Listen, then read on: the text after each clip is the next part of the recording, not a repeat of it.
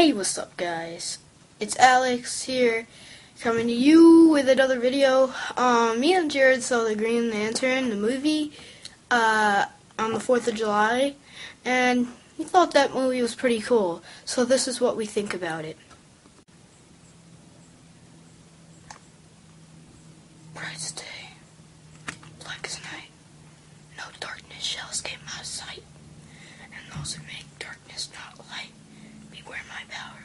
Green Lantern Slide! Who are you? I'm Green Lantern. Why are you in my house? I'm trying to give you some light here. How are you glowing? Oh, I got this lantern from a dying purple alien. See, it cost me zero dollars plus tax.